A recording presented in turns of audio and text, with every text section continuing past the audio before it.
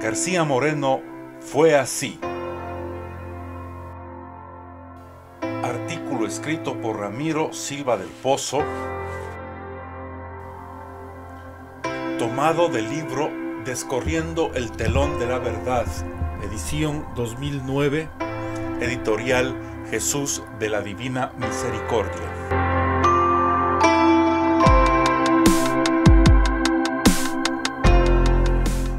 Film basado en la novela Sé que vienen a matarme de doña Alicia Llanes ha recibido, no se sabe por qué, inusitada publicidad.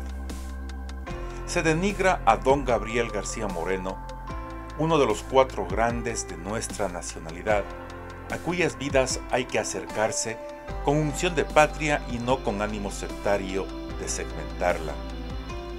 Ignórase deliberadamente todo lo bueno de su obra y lo que es peor aún, se elevan a categoría de axiomas, infundios y calumnias que a fuer de repetidos amenazan con adquirir visos de verdades indiscutibles.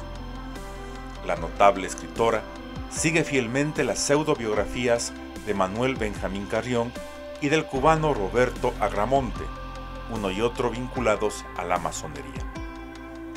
El santo del patíbulo casi ha llegado a convertirse entre nosotros en la Biblia del antigarcianismo, única fuente nutricia de estudiantes y lectores de medio tiempo que repiten, sin el menor sentido crítico, las falacias contenidas en aquel panfleto, sin cotejarlas ni por curiosidad, con obras realmente objetivas y ponderadas como la de Luis Robalino Dávila y la del argentino Manuel Galvez, para no hablar de otras de clara intención panegirista, tales las Richard Pate y la del padre Berce. La pseudobiografía del maestro Lojano, cuya estatura intelectual nadie discute, es en realidad un libelo cubierto de falsos ropajes de investigación histórica, en el que desde el prólogo evidencia no solo su intención presuntivamente política, sino su odio visceral contra el personaje. He aquí lo que expresara en su cátedra universitaria. Entre comillas, años buceando en la vida del tirano y el deseo inconsciente de encontrar un machete simbólico para acabar con ella, porque hacen daño al espíritu las malas compañías. Cierra comillas. Con este teorema todo es admisible con tal de desfigurar una imagen. Se llega incluso a la monstruosa y reiterada afirmación de que el presidente García Moreno, por propia mano, asesinó a su primera esposa. Lo demás se desprenderá de la pluma del doctor Carrión por ley de gravedad, palabras, actitudes, decisiones que son interpretadas perversamente, sin tomar en cuenta las circunstancias en que se produjeron la premisa menor y la conclusión vendrían con el aporte del psiquiatra cubano Roberto Agramonte, primer canciller en el régimen de Fidel Castro y también grado 33 en el escalafón de la masonería latinoamericana, el cual, en la misma tarea de deformar al biografiado, desde las primeras páginas, incorpora a su libro retratos del gran hombre grotescamente retocados junto a láminas que reproducen aves de presa en actitud de acometer, con alusiones tales como esta. Abre comillas. Repárese en la distancia entre los ojos, separados profundos, la nariz aguileña, los labios finos, crueles, todo sugiere el perfil de un pájaro siniestro. Cierra comillas. Insistimos en citar a los doctores Agramonte y Carrión porque son ellos los que han elaborado la urdimbre sobre la cual doña Alicia aborda los episodios nacionales narrados en su novela, con alarde impresionante de fantasía e imaginación. Se añade una dosis nada desdeñable de subjetividad, con lo cual se consigue que no sólo los actos políticos del presidente sean tratados sin rigor histórico, sino que aun sus palabras, actos, decisiones, soliloquios íntimos de la vida cotidiana, se los presenta de tal modo que predisponen en su contra. Así, efluvios afectuosos en cartas a su esposa, se los tilda de falaces. La dura mano empleada para depurar amplios sectores del clero envilecido se estiman incompatibles con su nunca desmentida catolicidad.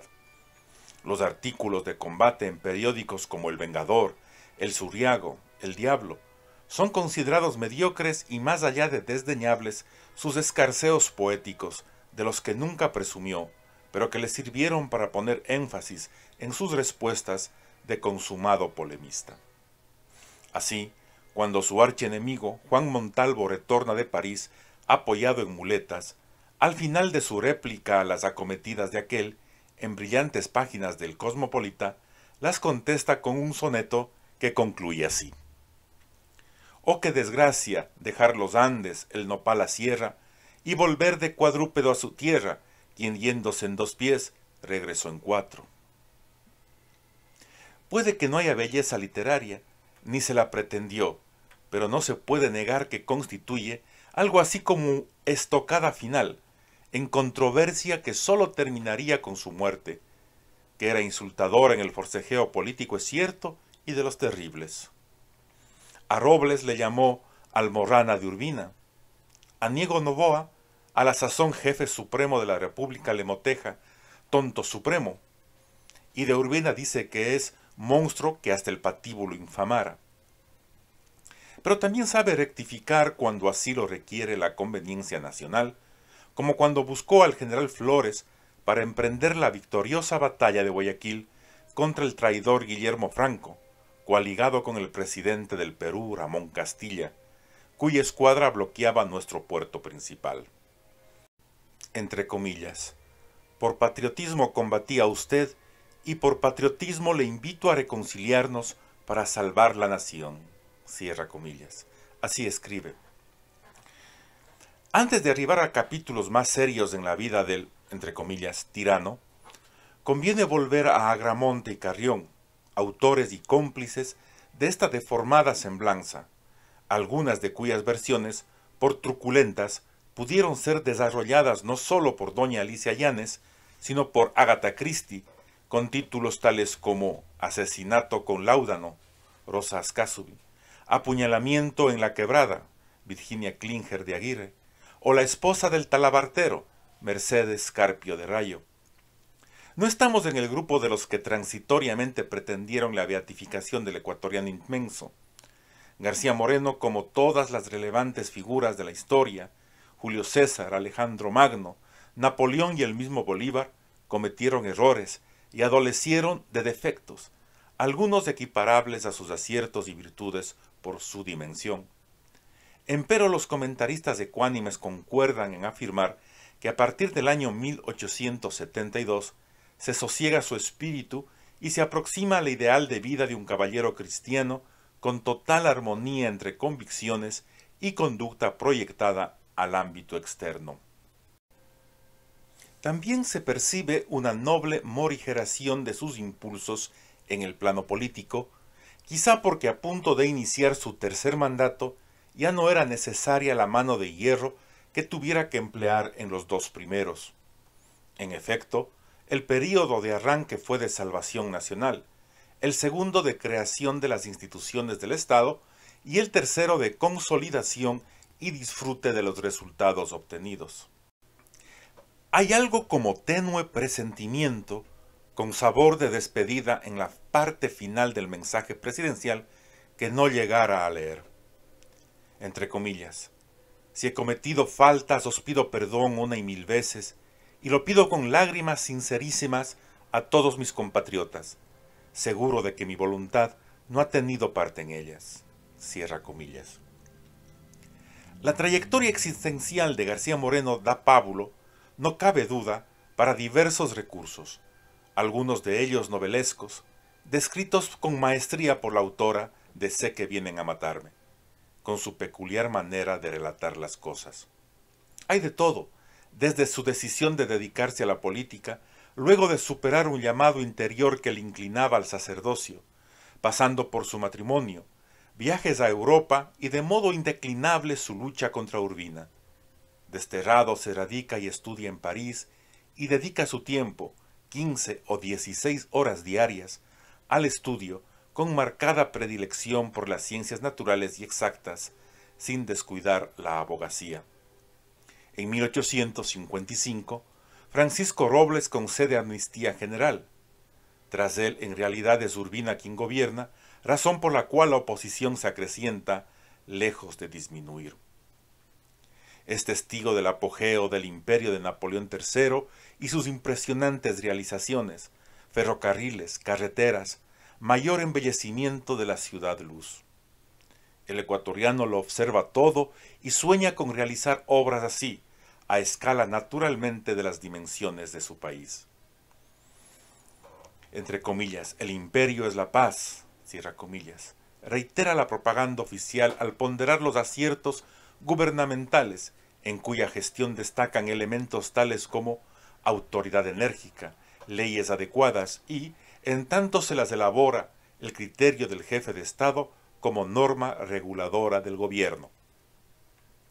A estas máximas añade otras de su propia cosecha, reforma educativa y financiera, depuración del clero y lucha frontal contra el monstruo. Se refiere una vez más a Urbina, del cual el ilustre cuencano don Benigno Malo dijera, entre comillas, si Urbinas manumitió a los esclavos, esclavizó a los libres, si liberó el brazo del negro, esclavizó el pensamiento de los blancos. Cierra comillas. En 1857, a los 36 años, es designado rector de la Universidad Central, un año más tarde elegido senador por Pichincha. Interviene con gran solvencia en todos los debates que se suscitan en la legislatura. Su estilo parlamentario fue muy distinto del cual se servía para polemizar, ecuánime, ponderado, ilustradísimo. Corren tiempos difíciles. La nacionalidad no se consolida aún corrupción por doquier, anarquía. Casi no había día en que no se pretendiese alterar el orden y amarcar la estabilidad gubernamental. Estaba de Dios que Ecuador necesitaba para subsistir de una férrea energía como la de don Vicente Rocafuerte. Con este telón de fondo llegamos a 1858 y 1859, sin duda alguna los años más asiagos de nuestra turbulenta historia republicana. Una vez más, la amenaza provenía de nuestro vecino del sur, cuyos gobernantes se disponían a pescar a río revuelto. Esta vez se manejaba el sofisma de que lo único que se pretendía era liberar al país del gobierno ignominioso de Ignacio Robles. Muchos lo creen. Inclusive García Moreno comulga inicialmente con tamaña rueda de molino se opone a las facultades extraordinarias que el mandatario solicitara a la legislatura. Se suponía erróneamente que el peligro no era tal sino ficción artificialmente creada para desviar la atención opositora hacia el problema secular. Robles, desesperado, abandona la capital y por decreto establece su gobierno en Guayaquil. El Congreso queda sin quórum y se lo disuelve. Con estos trágicos antecedentes, el 1 de marzo de 1859, Quito se pronuncia por un gobierno al que se denominaría provisorio. Lo integran García Moreno, Pacífico Chiriboga y Jerónimo Carrión. García Moreno se encuentra en el Perú. El día 25 llega a Quito. Hay cuatro gobiernos, de Robles en Guayaquil, uno de alcance seccional, Cuenca y Loja, el del triunvirato citado con hegemonía sobre las provincias del norte y del centro, el fantasmagórico del traidor Guillermo Franco, quien insurgiera contra Robles y es reconocido por Ramón Castilla, presidente peruano, cuya escuadra bloqueaba Guayaquil, con el cual celebra el vergonzoso Tratado de Mapasingue, en cuya virtud la línea oriental de los límites se recortaba conforme a la cédula de 1802, piedra filosofal sobre la que Torre Tagle asentaba sus pretensiones limítrofes. Los detractores de García Moreno omiten o pasan como sobre ascuas respecto de un gesto singular. El gran hombre invita a Franco a dejar ambos el país, permitiendo de este modo que los pueblos elijan con libertad un gobierno idóneo. El traidor no se dignó siquiera contestar impuesto por sentido de patria, como ya se ha visto, García Moreno, investido del título de Director Supremo de la Guerra, buscó sin reticencias la reconciliación con Flores. Jamás desplegó mayor dinamismo que en la preparación de la campaña. La inició con breve arenga de efecto electrizante. Soldados, os mando que marchéis a la victoria. El 24 de septiembre, después de la hazaña del general Flores de vadear el estero salado, se recupera Guayaquil. En enero de 1861 se reúne la convención. El vencedor de la batalla en funciones de presidente interino de la República presenta su renuncia, aduciendo que no debía mandar, después de haber aceptado al inicio del conflicto el apoyo de Castilla. Lamenta y reconoce su error. Se la rechaza por unanimidad. Su popularidad sin ningún ditirambo es arrolladora. La convención, marzo de 1861, lo elige por absoluta mayoría. Solo se contabiliza un voto a favor de Pedro Carbo como presidente constitucional de la República. Su programa de gobierno es notablemente parecido al de don Vicente Rocafuerte, al que siempre admiró. Organización económica y financiera e instrucción pública cuya orientación ideológica es encomendada a los hermanos cristianos en lo que respecta a varones y a las religiosas del Sagrado Corazón en cuanto a enseñanza primaria de las mujeres. Al frente de la secundaria, los jesuitas, a quienes regresara al país al cabo de su expulsión durante el gobierno de Urbina. Obras públicas, destacando los trabajos de la carretera Guayaquil-Quito, concordato con miras a la reforma clerical, etcétera, etcétera. Cuando se mira en perspectiva la obra integral de reivindicación patria, en todos los órdenes, hay que ceder la palabra a críticos del sector izquierdista, como Leopoldo Benítez Vinuesa, para que no se nos acuse de sectarios. He aquí lo que dice ese destacadísimo intelectual. Entre comillas. En el confuso período inicial de la República, llegamos al borde de la disolución. Sin embargo, las fuerzas unificadoras están presentes y actúan como elementos aglutinantes. La encarnación de esas fuerzas es una figura sahareña y grande, sangrienta y formidable, la del tirano constructivo y genial, García Moreno, a quien yo hombre de izquierda rindo el tributo de mi más grande admiración. Cierra comillas. Los panfletarios Carrión y Agramonte, hay otros de menor estatura, extreman su fobia y rasgan las vestiduras al referir la acción represiva del régimen. Doña Alicia Yánese deforma sus relatos hasta convertirlos en auténticas novelas de terror. Ninguno de ellos repara en que las constituciones ecuatorianas consagraban la pena de muerte, no hay que olvidarlo, hasta 1906, es decir, más de 10 años después de la entronización del liberalismo en el poder con Eloy Alfaro. Quienes se complacen en elaborar listas de sangre en cada lapso gubernamental, reseñan que don Vicente Rocafuerte se vio en caso de aplicarla mayor número de veces que en el período cristiano. En la Carta Magna y en las reformas introducidas en el Código Penal de entonces, se imponía en caso de insurrección, en todas sus formas, actos de corrupción en materia grave, junto a otros delitos considerados atroces. Hay que recordar las circunstancias que determinaron las actitudes de García Moreno. El riesgo de que Ecuador pudiera desaparecer no era recurso demagógico para solicitar y obtener, frente a cada emergencia, las facultades omnímodas. La amenaza real de que aquello ocurriera era de tal manera grave que sopesadas en el exterior las posibilidades de que el presidente pudiera detener la anarquía y restablecer el orden y la autoridad se consideraban mínimas. Cipriano Mosquera, presidente de Colombia, lo tenía por imposible, criterio compartido por Zelaya, mandatario peruano, quienes llegaron a convenir secretamente en un reparto equitativo de los despojos territoriales de nuestra patria. Entre los dos vecinos, algo así como lo que en la historia se conoce como polonización de la nación eslava, literalmente engullida por las potencias limítrofes.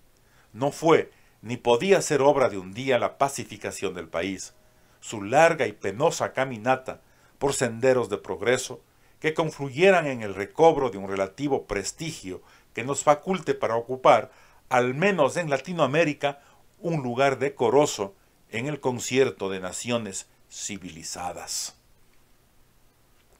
Se trataba de un proceso, de un largo proceso, que en opinión de muchos no ha concluido aún, para eliminar vicios, defectos y limitaciones de carácter nacional ecuatoriano, cuya explicación y origen deben ser estudiados sociológicamente y en conciencia en pos de solución. Un político con menos temple que el que nos ocupa hubiera fracasado y arrastrado tras de sí a la República en un naufragio irremediable. Para García Moreno, dice José María Velasco Ibarra, lo primero es el alma nacional, el alma unitaria de la patria. Dos amenazas constantes en contra de este imperativo categórico pusieron a prueba de continuo su patriotismo y su carácter. Los brotes de insurgencia y el atraco cotidiano al erario nacional. La corrupción infestaba a todos los estamentos, inclusive no a pocos de la Iglesia Católica. No es exacta la afirmación de que obraba arbitrariamente, a impulso de su temperamento, sus odios o sus afectos. No. El Congreso exigía pruebas fehacientes antes de concederle las facultades necesarias para implementar estos actos represivos. Así, cuando lo solicitara para poner freno a los desmanes de cierto orden eclesiástico, trasladó a las barras de aquel a un clérigo, no cabe citar el nombre, en deplorable estado de embriaguez, guitarra en mano y casi en paños menores. Dirige además al primer poder del Estado esta soberbia admonición, entre comillas. Porque si el pueblo es corrompido, su soberanía es la omnipotencia del mal, y si ignorante, su libertad es una quimera peligrosa, es la libertad de un ciego que camina a la aventura al borde de un abismo. Cierra comillas.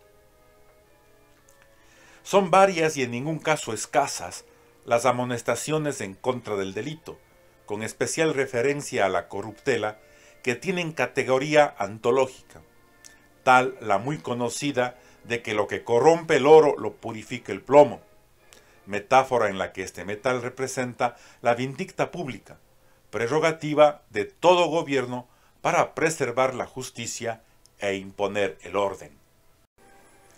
La compasión por los criminales, pregona en otro momento, es la mayor crueldad para con los ciudadanos honrados y pacíficos.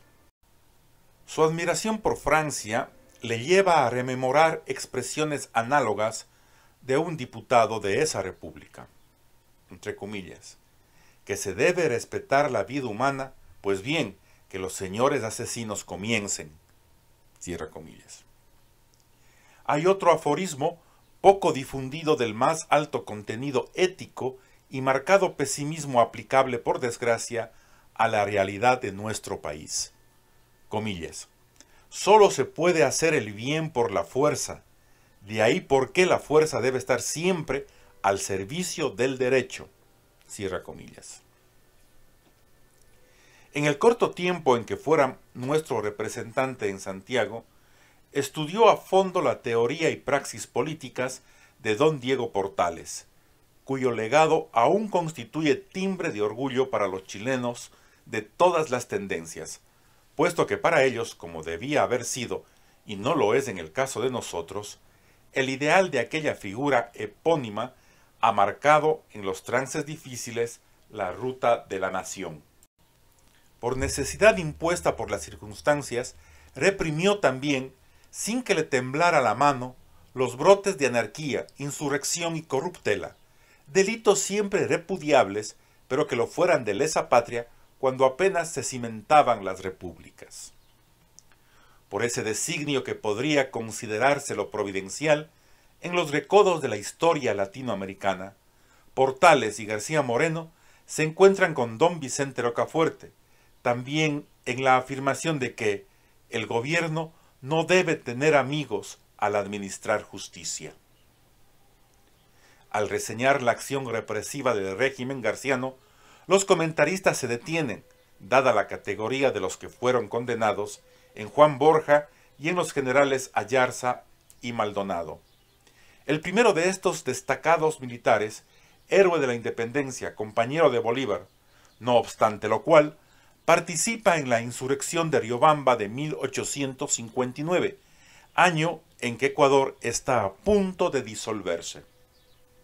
La trayectoria del general Maldonado y su fusilamiento tiene mucho de tragedia griega y no poco de folletón por entregas. Don Manuel Tomás fue valeroso militar, pero vacío por completo de firmeza política. Participó en todo levantamiento, sirvió a todos los gobiernos que solicitaran su respaldo, acaudilló la conspiración de 1864 el 24 de junio. Entraba en los planes de esta el asesinato del presidente. Sin embargo, García Moreno le dio repetidas posibilidades de fuga. A fe de Maldonado, aunque conspire cien veces, tendrá que perdonarme el loco del presidente, dijo. Colaborador de García Moreno, 1859-1860, vencedor de Sabún, confiaba seguramente que sus páginas de servicio lo redimirían de morir.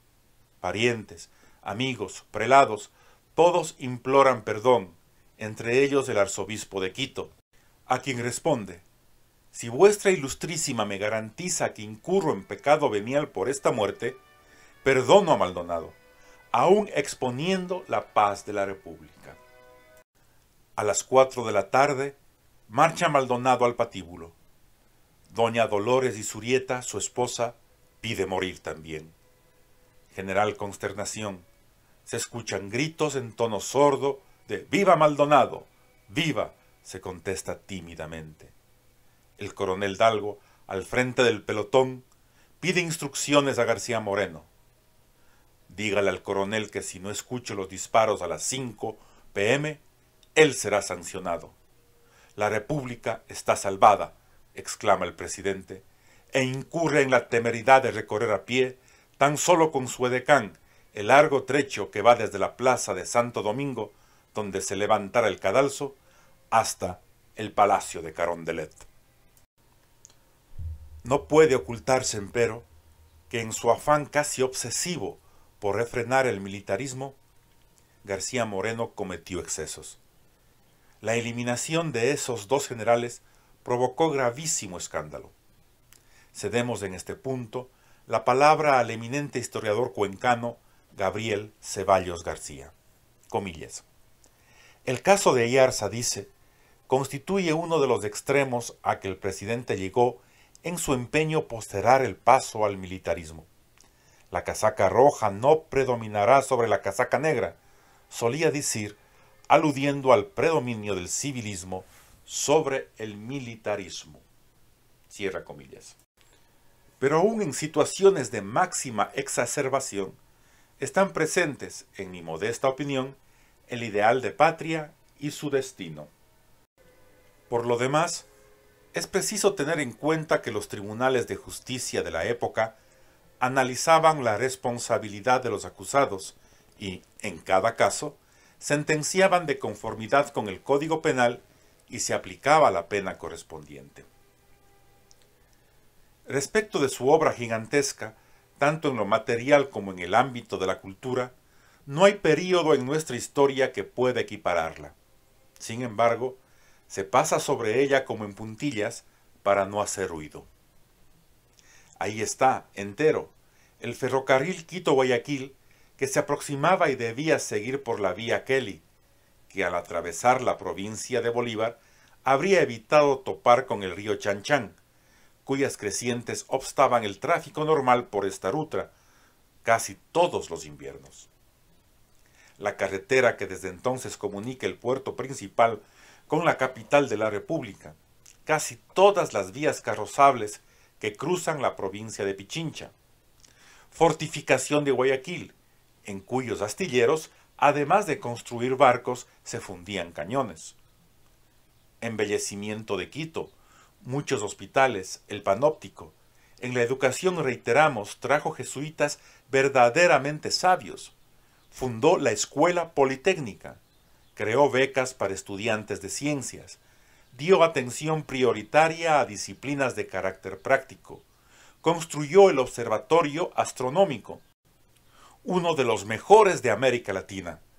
Escuela de Artes y Oficios, Escuela Normal para Indígenas, desaparecida después de su muerte, Escuela Militar, se llamaba a sus cursantes los cadetes de García Moreno, denominación genérica que los llenaba de orgullo.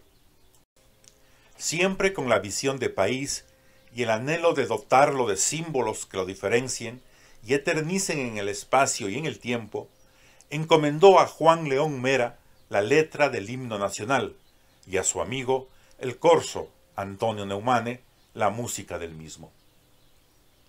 Con idéntica inspiración, adoptó el glorioso tricolor ideado por el precursor Francisco Miranda como bandera nacional. En lo económico, suspendió el pago de la deuda externa, equilibró la moneda, el peso llegó a cotizarse a la par que el dólar, apreciable disminución tributaria. Todo esto presupone cualidades de eximio administrador.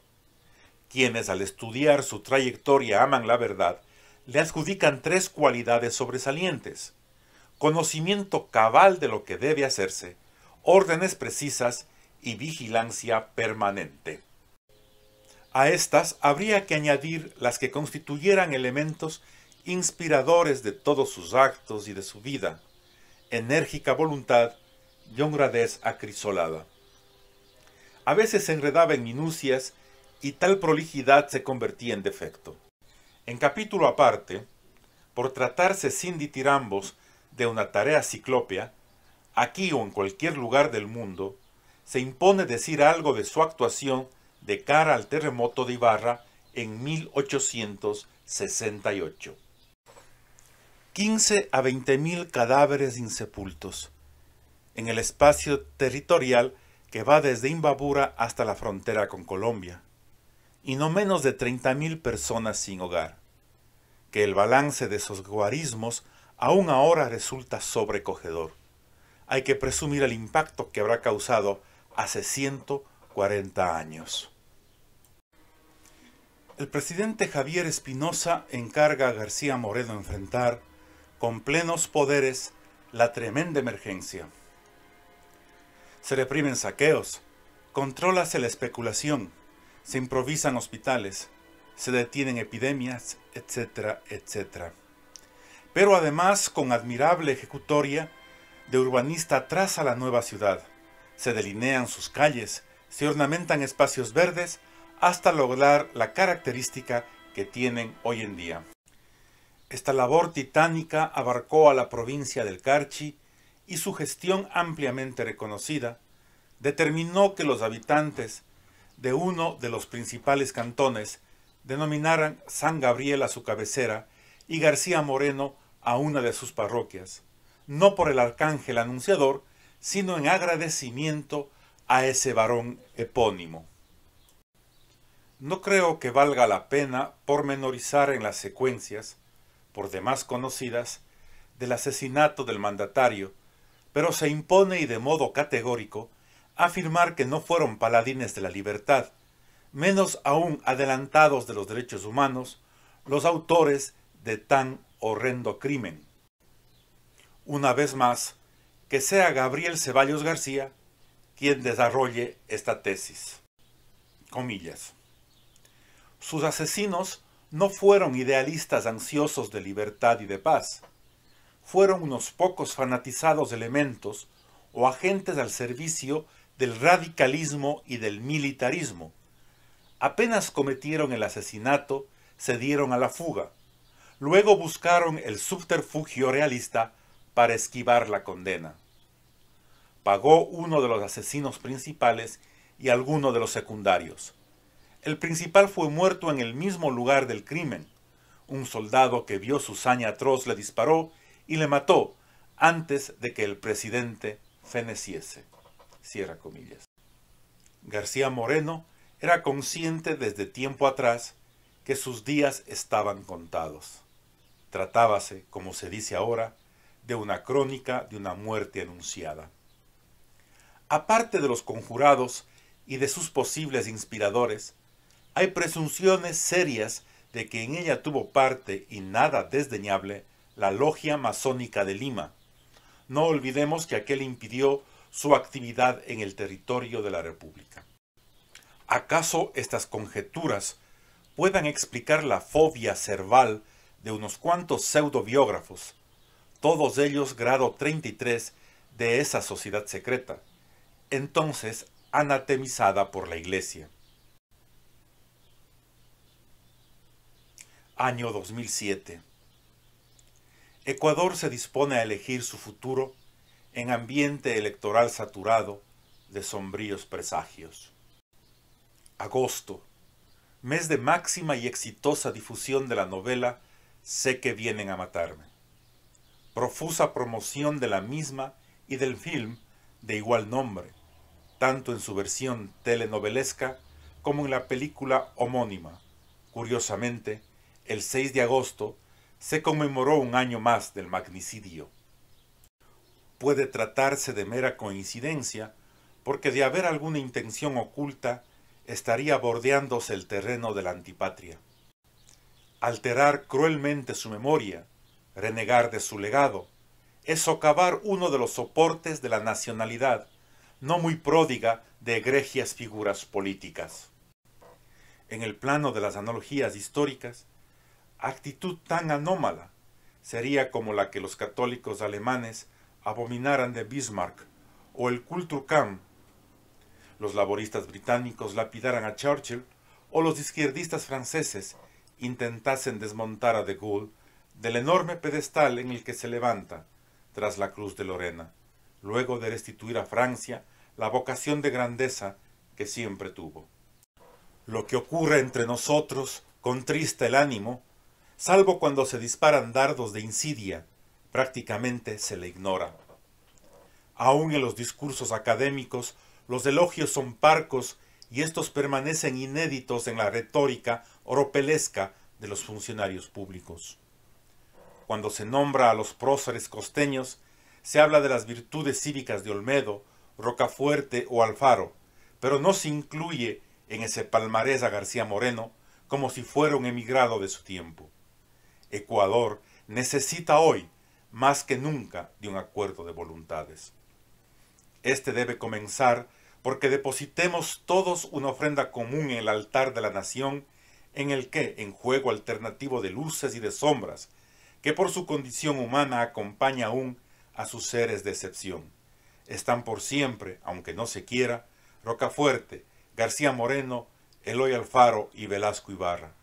Ellos tuvieron un ideal de patria diferente, pero lo sirvieron con heroica ejemplaridad. En buena hora las diferencias ideológicas, si éstas, lejos de comprometer la unidad nacional, reafirman y enriquecen.